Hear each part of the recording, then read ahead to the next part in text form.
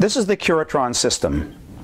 Um, in the, there are two basic systems that are generally available to most people. There's a third system for some people who uh, are particularly professionals or have special needs. But the two basic systems are the HT and the XP. So the HT system, which is the basic system, costs about $3,000 and it comes standard with three components. The control unit, a smaller body pad, and a what we call a pillow applicator. The HT system has a maximum field intensity of around 200 Gauss. So that's a maximum field. Now the field will vary depending on where you use it, how you use it, how far the body is from it, etc. Now the XP system has a maximum field intensity potential of about 700 Gauss, depending on the configuration that you choose. All you get with the XP system is the control unit. You then have to add the applicators that you want.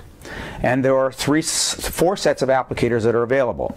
There are two pillow sizes, A and B, um, and there are two mat sizes. I mentioned there's a PC system, which is, again, more elaborate, it's computer controlled, and has much higher intensity, well, significantly higher intensities than the XP system does. So each of the three systems that are available have different pricing, and they have different field intensities depending on, on your needs and the complexity. But ultimately, it's a very durable system, high field intensities, many different programs available for you to choose from.